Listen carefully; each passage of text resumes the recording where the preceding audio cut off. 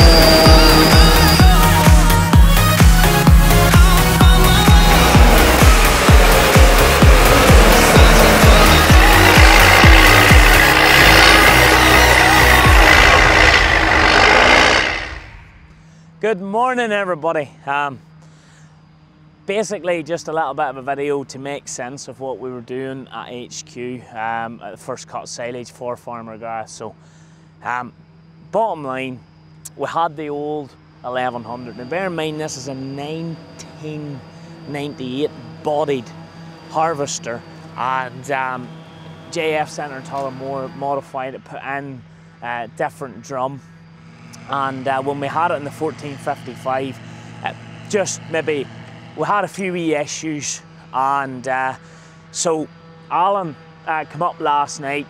He did a bit of work on it just tightening and tidying a few things up. And uh, she's running well. There's still a couple of wee issues but I can't reiterate the point enough that you're going to have a few issues. But what we're trying to do is show that these things can still work and do a good job 820 Finn, I drove it most of the day yesterday until Alan got here. Well, Owen needed to get a, a load or two on it as well. He was mad to get a run on it, as, to be perfectly honest, um, I really wanted to run in the 310R with the, the big Smyth trailer.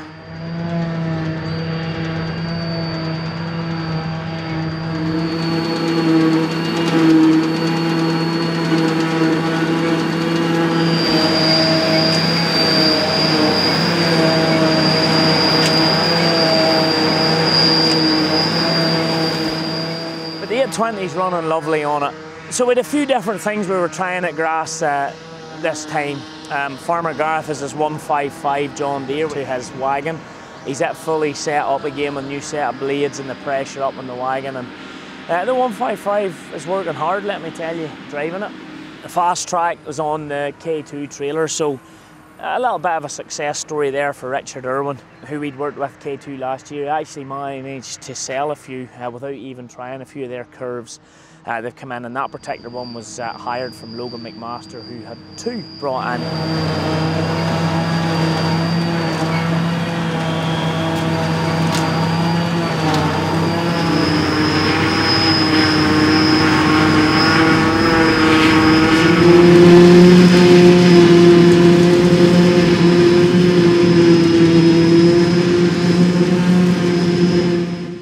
Johnson Geltman asked us to take a, a look at the 120M, the new type 120M. Um, remember, we had the 120M with the loader and uh, tried it, and I asked them had they any wee rakes or tethers, and they work with the SAP brand.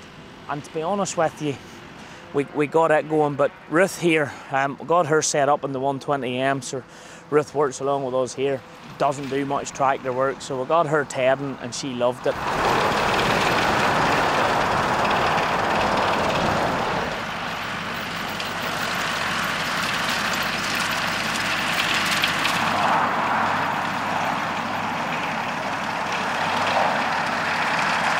And then on the 120M as well, we got Farmer Gareth's daughter, who we all know as Farmer Lexi. We got her up and running on the uh, 120 doing their, their, their own with the new SAP uh, rake as well. Now Farmer Gareth has his own wee rake, but it was just nice to get that going. And the 120s, and absolutely, my wee tractor is a great punch. Gary's on the pit then. Uh, after he was on the Fastrac while yesterday, but um, on, swing round here to see them coming in the background. Um, but Gareth, he did a bit of upgrading with the Merlo, and then Gary wanted to test out the new five ton linkage and see was it really up to the job. So the big girl just tars it.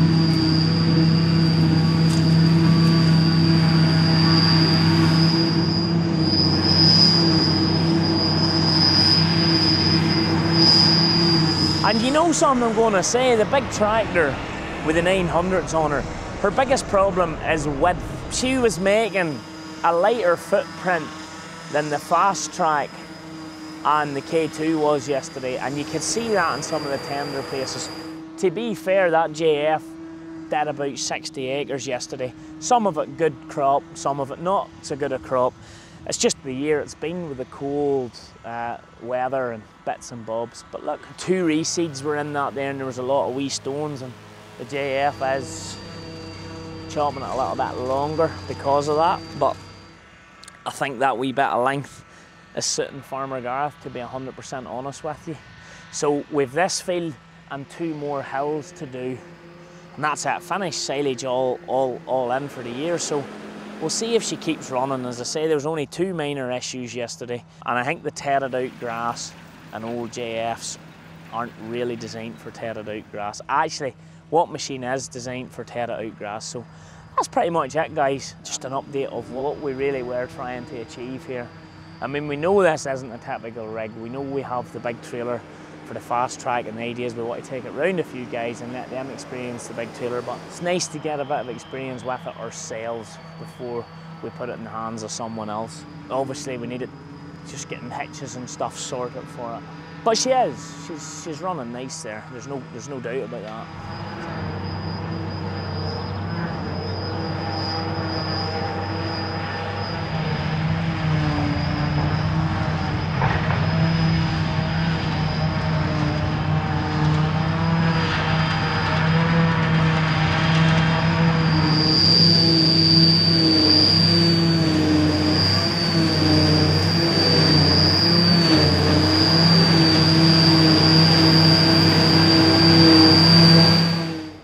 today at the barn. We're putting in the first cut silage here for Farmer Gareth. I was uh, lucky enough to be put on to the 310R and the new Smyth trailer. Well, I don't know, was I lucky enough or whether the lads wanted me to put the first scratch on the trailer. But it seems to be going well so far anyway. This trailer here behind me is Supercube Pro. It has all the bells and whistles. Four steer, front and back steering, there's a new feature on the trailer Sam is putting on them. They're uh, quick drop. Once you tip, you float your two spools, and the trailer lets down in half the time as it does to take the tip. Just saves less time in the yard tipping and quicker time to get out of the loader man's way because when the load is tipped up, the loader man doesn't want you sitting there too long because you'll see here when the load is tipped, it nearly fills the whole slab might seem like a bit of a big tractor to have in front of it, but for hilly conditions, you'd nearly need this size of a tractor. Maybe not this size, but you need to wait. A couple of tight gates around here, but the Smyth seems to be following in well. as Sam said when we picked up the trailer, he says if you can get the tractor in the trailer, it'll follow, and he's not too far wrong. I first seen the triaxle Smyths when Robinson Farms over in New Mexico got their trailers. I was there when Holton Robinson came over from America when he first seen the Smyth trailers, and to be honest, I thought they were a savage, well built trailer. I was lucky enough to have a drive with them and see how they went over there, and I thought to myself, I'd hard to see them working back home because they were so big that time. And between talking to Gareth earlier on the year, and he was explaining to me that he's thinking of working alongside Sam, I said it'd be a great opportunity to get one up, see what they're like. But when I'm on this today, there's no bother to it. Even as you can see, the trailer is high enough. Sam made up a, a lower crate, so we're able to blow in off the JF. Seems to be going good so far, anyway. In the silage game now, capacity is a big thing.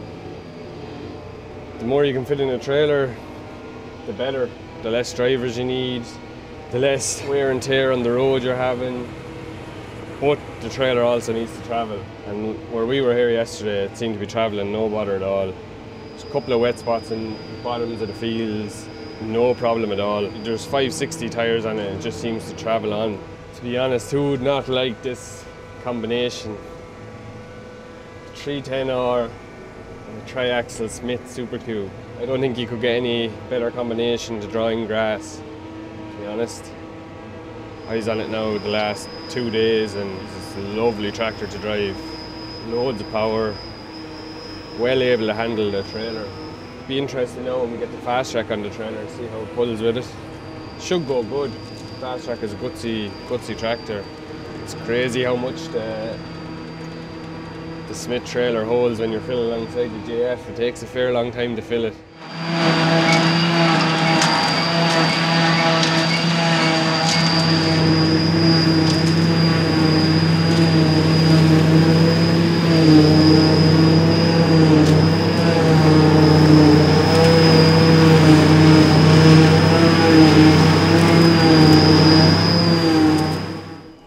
It's just as noisy as the 1455 anyway.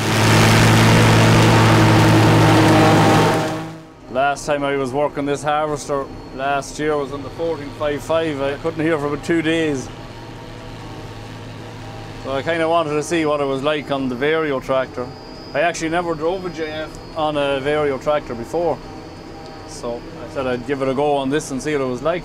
So I got sneaking away from work then yesterday evening for the day. I can't really hide it from Philip now because he might see this on YouTube. It's doing all right for a 20 odd year old harvester. Yeah, it's not particularly easy lifting, you know, lumpy kind of headed and raked up stuff with a with an older harvester. The JF, you know, I suppose same as all trail harvesters, they like a nice steady sward, like.